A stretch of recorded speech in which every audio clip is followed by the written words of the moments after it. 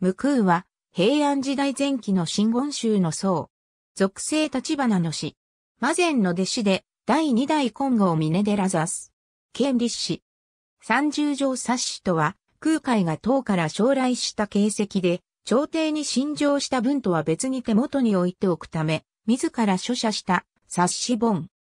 長く、当時に所蔵されていたが、上岸18年6月、高野山の魔前が、当時長者の間宮日から借り受けて持ち帰り、その後、当時側の度重なる返還要請を拒否しつつ、魔前から弟子で、初代金剛峰寺ザスのことぶ記帳、第二代ザスの無空へと伝えられた。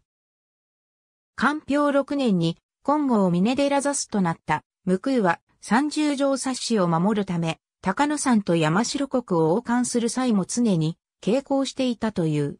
演技16年6月26日に無空は山城国の延期下げ寺で死去。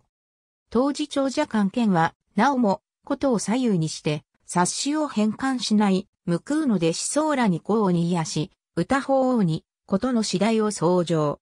法王の見跡を受けた、無空の弟子らは、ついに冊子を当時に返還した。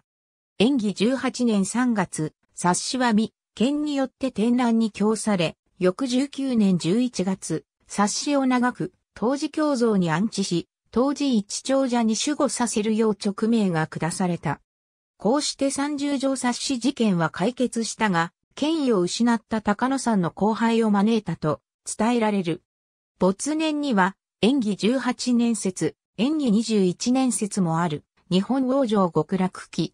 今弱物語集巻14、原稿釈書。ありがとうございます。